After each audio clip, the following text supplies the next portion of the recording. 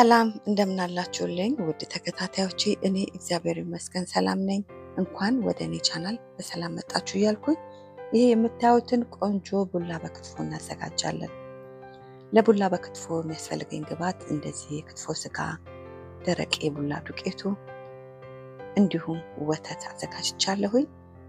አሁን ለምሰራው የገንፎ መጠን የሚያክል ዱቄቱን ቀንሼ እንደዚህ አዘጋጃለሁኝ። ዱቄቱ ላይ ውሃ ጨምራለሁኝ። አርሰዋለው ደግሞ በጠብጥና የሚበቃውን ያህል ውሃ ጨምሬ ለትንሽ ደቂቃ አሳርፈዋለሁኝ። ለትንሽ ደቂቃ ስናሳርፈው ቡላው በራሱ እንደዚህ ሆኖ እናገኘዋለን። ውሃው ለብቻ ቡላው ደግሞ ከስር ለብቻ ተኝቶ እናገኘዋለን። ውሃውን አጠለልኩት። አሁን ለማገነፋበት ውሃ ጥጃለሁኝ። ጥቂት ውሃ እንዲሁም ጨው ጥቂት ጨው ጨመርኩኝ። ውሃ እንደዛ ጥደን ደግሞ ቡላችንን በወተት በጥብጠን በምንሰራበት ጊዜ በጣም ቆንጆ ነው የሚሆንልን። እንዳይቃጠል ቶሎ እንዳያር ይረዳናል። እንደዚህ ቡላውን በወተት ብጥብጥ ካደረግኩኝ በኋላ እዛ ጋር ውሃ እየፈላልኝ የበጠበጥኩትኝን ቡላ ወስጄ ወደ አዘጋጀሁት መጥበሻ ላይ ወይም ድስታችን ላይ ጭምር አረገዋለሁኝ። ከዛ እጄን ሳላሳርፍ ዝም ብዬ ማማሰል አለብኝ አለብን። ካላማሰል ነው ይጓጉልብናል። እጃችንን ካሳረፍን እንደምታዩት እንደዛ ቀጠን ብሎ ገብቶ የነበረው እየወፈረ እየወፈረ ነው የሚሄደው። ቡላ በባህሪው ወፈር የማለትና የደረቅ የማለት ነገር ስለሚያመጣ ገንፎውን ትንሽ ላላ አድርገን ብናዘጋጀው more የተሻለ ነው፣ ቆንጆ ነው። ይኸው እንደምታዩት በዚህ መልክ ቆንጆ ሆኖ እየተገነፋ ነው። ከዛ ጥቂት ወተት ጨምሬ ትንሽ ደረቅ ስላለ አላለዋለሁኝ።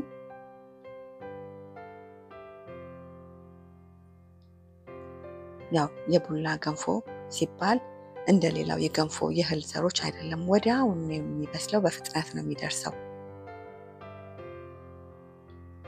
በመቀጠል እንደዚህ ጥቂት ቅቤ ጨመር አረግበትና አብሮ እንደዚህ አገነፋዋለሁኝ።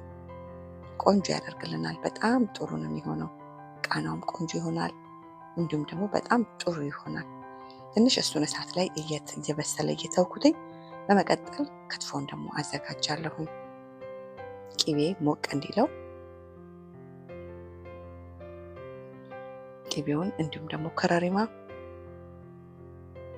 ሚጥሚጣ፣ ጥቂት ደግሞ ጨው ሚጥሚጣውም ጨው ስላለው ቡላውም ላይ ጨው ስላደረግን ጨው እየተጠነቀቀን እንዳይበዛብን መጨመር አለብን። ከዛ ክትፎውን ጨምሬ ባዘጋጀሁት ቅቤ ላይ ለውሰዋለሁኝ። ክትፎ እንዲበስልም ጥሬ እንዲሆንም አልፈለኩም። ለብ ለብ ያለ መካከለኛ አበሳሰል እንዲበስል ነው። ይኸው አብስዬ ጨርሻለሁኝ። በመቀጠል እቃዬ ላይ እንደዚህ አዘጋጅቼ ሞልቼዋለሁ። ከዛ ጣባዬን አዘጋጀሁኝ። ጥቂት ቅቤ፣ ጥቂት ሚጥሚጣ። ከዛ በመቀጠል already ገንፎ ቡላው ደርሷል። እሱን እገለብጣለሁ ወደ ጣባው ላይ ቅቤ ጨመርኩኝ። ቅቤውን እኔ ትኩስ ነው በጣም የቡላው እና የእሱ ቅቤው ትኩስነቱ ራሱ እያቀለጠው ያሄዳል ብዬ ቅቤውን አቅልጫለም የጨመርኩት። እናንተ ሞቅ አርጋችሁ ወይም ትንሽ ቀለጥ አርጋችሁ መጠቀም ትችላላችሁ። እኔ በራሱ በሙቀቱ እንዲቀልጥ ብዬ ነው የተውኩትኝ። ደግሞ እንደምታዩት ቀልጧል። ከዛ ሚጥሚጣው እንዲጨመርኩኝ በመቀጠል ደግሞ ያዘጋጀሁትኝን እንዴት እንደሚያምር ቆንጆ ነው የሆነው። ነጣም ያደርገዋል ወተቱ፣ እንዲህ ደግሞ በጣም እንዲጣፍጥ ያደርገዋል። ከዛ ክትፎ እንዲገልብጥ አደርግበታለሁ። ክትፎ በቡላ በክትፎ በጣም የሚጣፍጥ በጣም ቆንጆ የሆነ ነው። በእውነት በጣም ነው የሚጣፍጠው። ጠጋኝ ነው። እንዲህ እንደው ለአራስ በሉት እንደው በጣም ለተጎዳ ሰው በሉት አለ normal ለማናችንም በጣም ቆንጆና ጤናማ ቡላ በክትፎ ስራ ይሄን ይመስላል። ለዚህ ቻናል አዲስ ከሆናችሁ ቻናሉን subscribe፣ share፣ like፣ comment በማድረግ ቤተሰብ ሁኑ፣ አበረታቱ። እንዲሁ ደግሞ subscribe፣ share፣ like፣ comment እያደረጋችሁ ለምትደግፉኝ በሙሉ ልባዊ ምስጋናዬን አቀርባለሁ። በሌላ ስራ እስክንገናኝ በያላችሁበት ሰላም ሁኑ። እግዚአብሔር ከእናንተ ጋር